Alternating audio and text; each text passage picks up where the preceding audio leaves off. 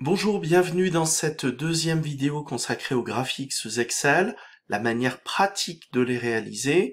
J'ai découpé ce sujet en deux vidéos. La première vidéo était consacrée à des généralités sur les graphiques sous Excel, et puis la manière de sélectionner des données avec un outil très utile, le sélecteur de données. Et maintenant qu'on sait quelles données faire figurer, on va s'intéresser dans la deuxième vidéo à la manière de mettre en forme les données au niveau d'un graphique.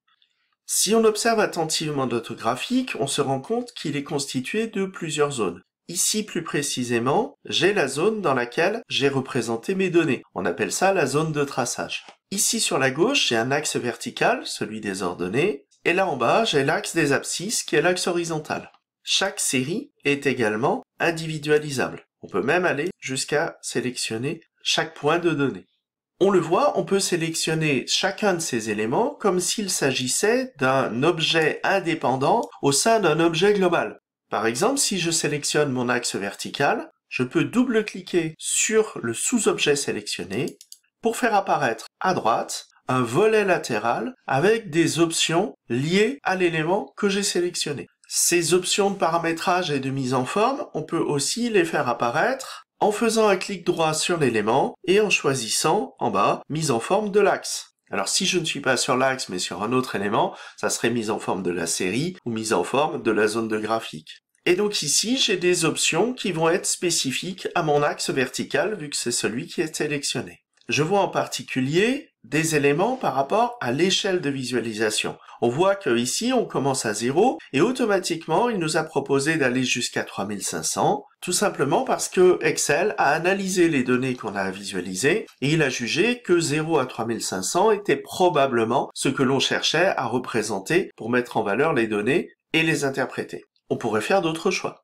Par exemple, ici, on voit dans le volet latéral que les options des axes sont automatiques au niveau des limites minimum et maximum. Je pourrais choisir de remplacer la valeur 0, par exemple, par la valeur 1500.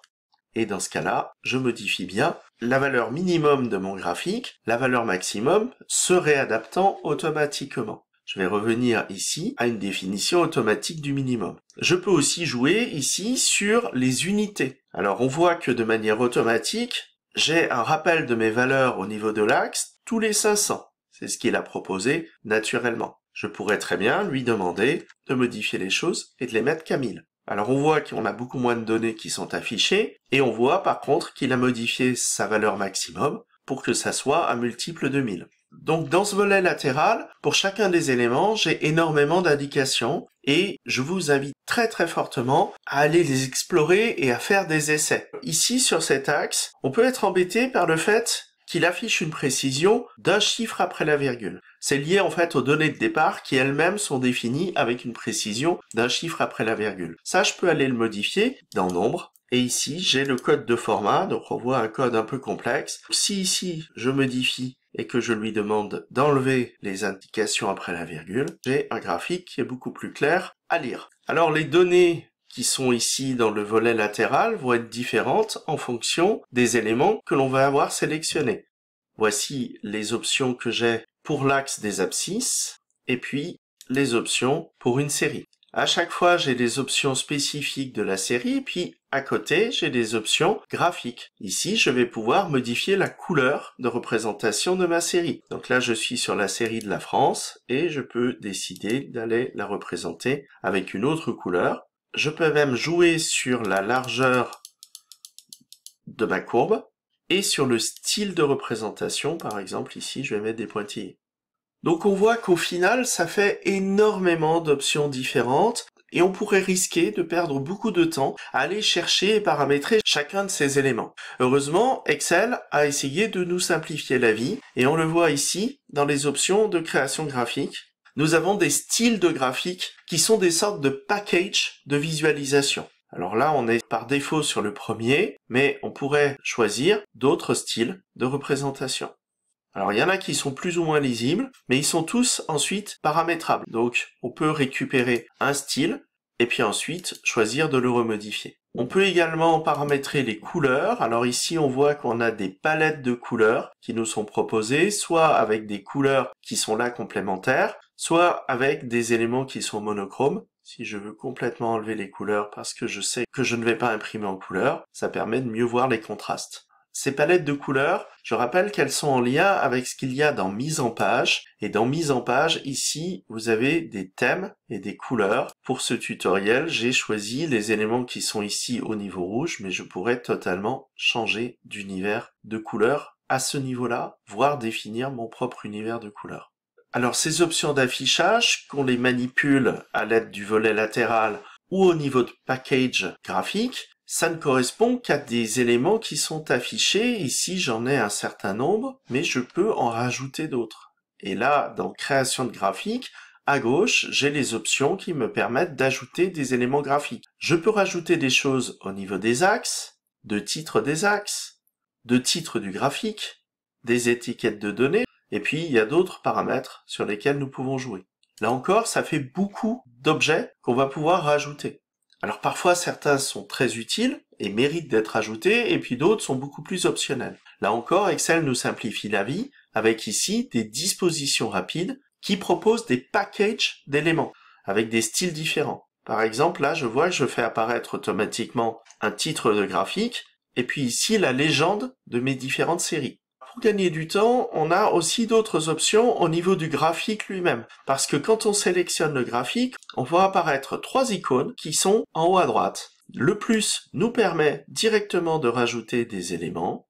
Le petit pinceau nous donne accès au style de graphique avec des styles prédéfinis ou des palettes de couleurs. Et puis l'entonnoir va nous permettre de masquer une série par exemple. Ici j'ai décidé de masquer l'Allemagne. Je peux bien sûr la faire réapparaître faire appliquer à chaque fois. Et on voit que pour les catégories, c'est-à-dire pour les éléments qui sont en abscisse, c'est exactement la même chose. Je pourrais décider d'en afficher certaines selon mes besoins de visualisation.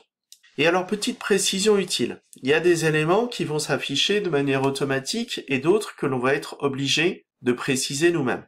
Les éléments qui sont ici au niveau de l'axe latéral sont reliés complètement aux valeurs des données que l'on va afficher. Donc on a vu le paramétrage tout à l'heure. Les valeurs en bas d'étiquettes de données sur l'axe horizontal. On a vu aussi au niveau du sélecteur qu'on pouvait, dans sélectionner les données, ici les modifier. Donc si je veux modifier ce qui va s'afficher ici, il faut que je modifie directement mes données dans ma feuille de calcul. C'est la même chose sur mes noms d'étiquettes de données. Ici j'affiche Allemagne et France en lien avec les données que j'ai ici. Pour ce qui est du titre du graphique, il va falloir que je le saisisse à la main. Alors c'est logique parce que le titre du graphique, il peut varier. Ici, je vais mettre PIB Allemagne et France. Mais si par exemple, je supprime une donnée, eh bien je vois que mon titre n'a plus le même sens. Donc ici, je pourrais me contenter de mettre PIB de la France. Il en va de même pour le titre des axes. Si je rajoute ici le titre de l'axe vertical, il n'est pas relié à des données, il va falloir que je le saisisse manuellement. Et c'est la même chose pour ici, le titre de l'axe horizontal. Et quand il s'agit d'années, on a rarement besoin de préciser que ce sont des années.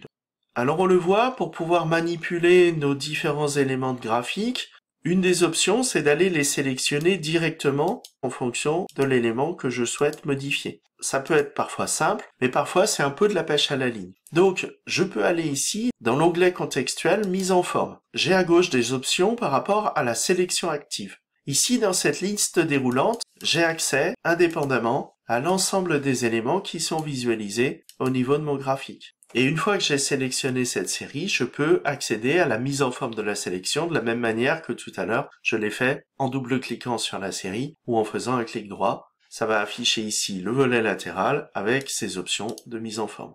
De même, au niveau des options de mise en forme, on peut aussi choisir de les gérer ici directement dans l'onglet mise en forme comme si c'était des formes classiques auxquelles vous pouvez être habitué par ailleurs avec d'autres options de la famille des logiciels Office.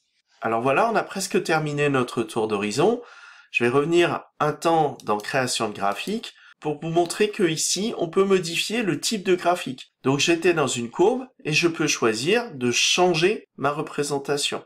Par exemple, je peux regarder ce que ça donnerait au niveau des histogrammes. On voit que dans chaque type de graphique, on a même des sous-options de représentation. Par exemple, ici je représente deux séries avec des histogrammes. Je peux choisir de grouper les éléments par année. Mais je pourrais aussi choisir de les empiler. Alors évidemment, ça va pas donner le même graphique et on l'exploitera pas de la même façon. Donc là encore, Excel ne fait que proposer des options différentes et c'est à nous de réfléchir fortement à celles qui seront les plus appropriées. Allez, j'en ai fini avec mon panorama général qui vous a expliqué quand même les options les plus importantes pour arriver à gérer les graphiques au niveau d'Excel.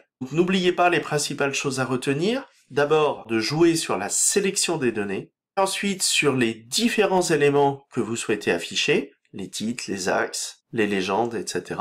Et enfin, en troisième niveau, la mise en forme de ces différentes données pour les rendre plus percutantes.